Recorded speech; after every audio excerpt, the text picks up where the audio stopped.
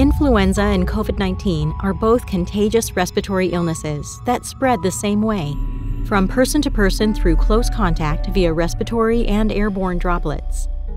Rising trends in COVID 19 hospitalizations directly overlapping with estimated flu cases may place a large strain on hospitals and healthcare workers across the country. Workers who perform aerosol generating procedures, specimen analysis, and other patient care tasks may be at a higher risk of exposure to these viruses. Nebulizer therapy is a common aerosol generating procedure used to treat pulmonary symptoms associated with both the flu and COVID 19.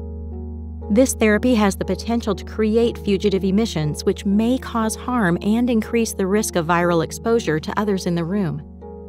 Using the AeroEclipse breath actuated nebulizer can minimize fugitive emissions, creating a safer environment during nebulizer therapy.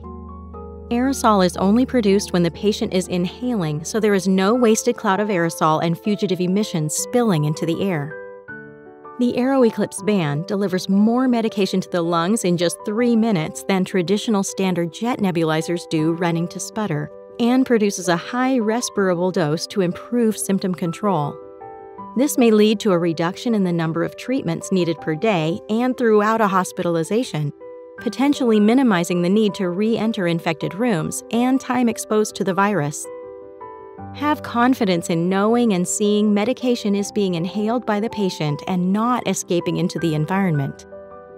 Safer, more effective aerosol delivery is available with the AeroEclipse 2 breath actuated nebulizer.